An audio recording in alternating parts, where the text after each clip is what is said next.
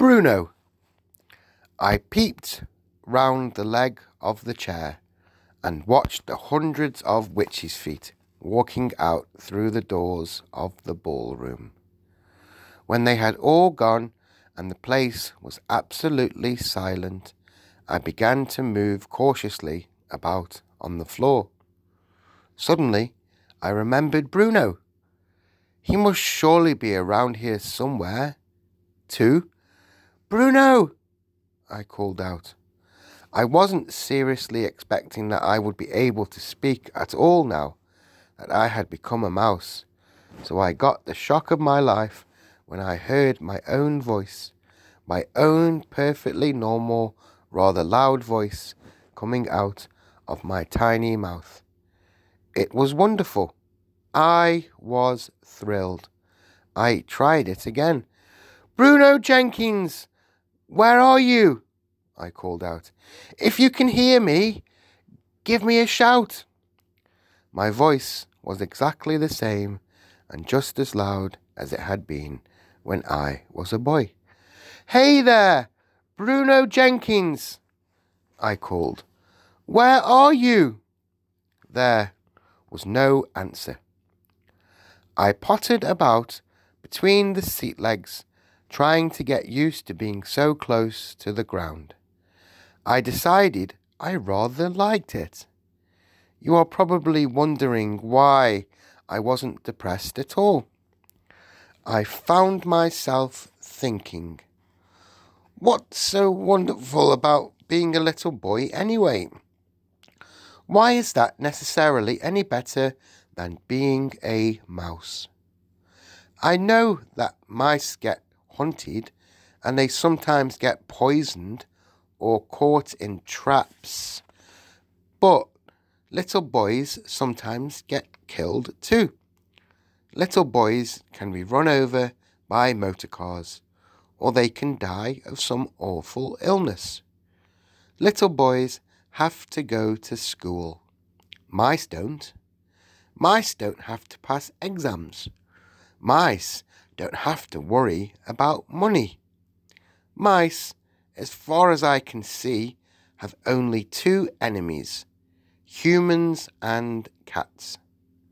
My grandmother is a human, but I know for certain that she will always love me, whoever I am.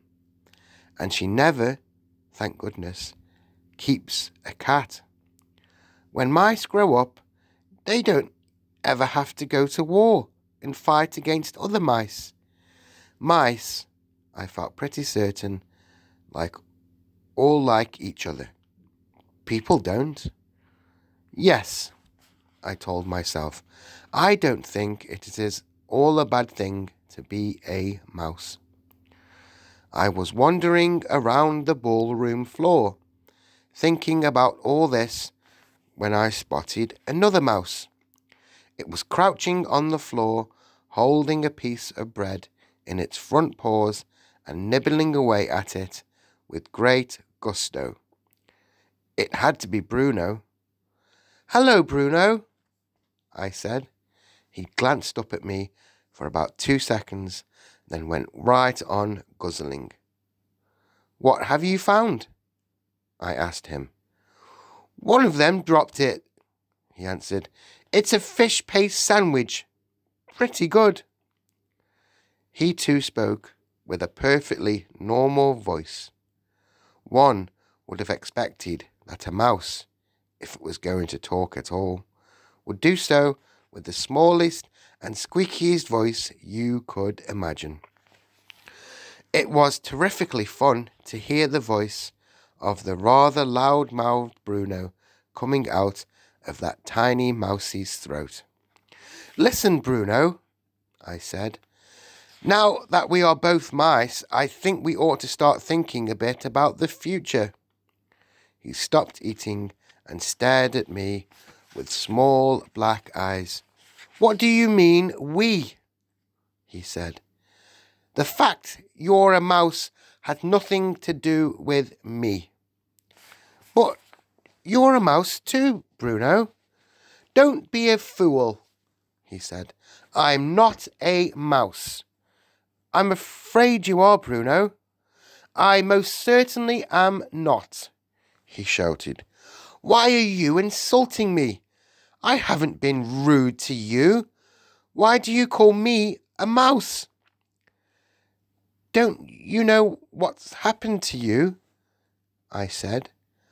What on earth are you talking about? Bruno said. I have informa- I, I have to in- inform inform you, I said, that not very long ago the witches turned you into a mouse. Then they did it to me. You're lying, he cried. I'm not a mouse. If you hadn't been so busy guzzling that sandwich, I said, you would have noticed your hairy paws. Take, take a look at them. Bruno looked down at his paws. He jumped. Good grief! he cried. I am a mouse.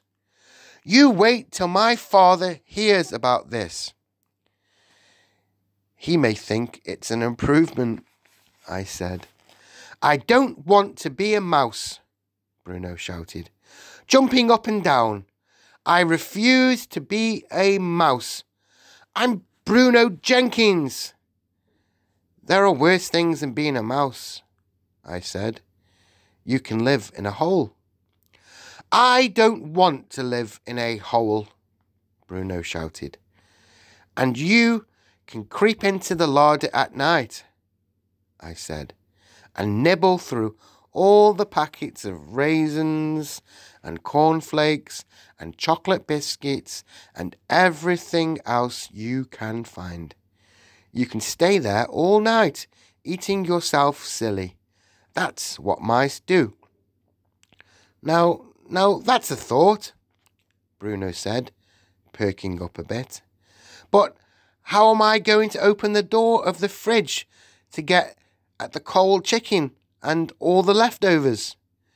That's something I do every evening at home. Maybe your rich father will get you a special little mouse fridge all to yourself, I said. One that you can open.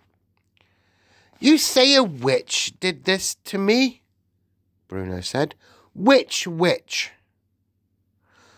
The one who gave you the chocolate bar in the hotel lobby yesterday, I told him. Don't you remember? The filthy old cow, he shouted. I'll get her for this. Where is she? Who is she? Forget it, I said. You don't have a hope. Your biggest problem at the moment is your parents. How are they going to take this? Will they treat you with sympathy and, and kindness? Bruno considered this for a moment. I think, he said, that my father is going to be a bit put out. And your mother? She's terrified of mice, Bruno said. Then you've got a problem, haven't you? Why only me? he said. What about you? My grandmother will understand perfectly, I said. She knows all about witches. Bruno took another bite of his sandwich. What do you suggest? he said. I suggest we both go first of all and consult my grandmother, I said. She'll know exactly what to do.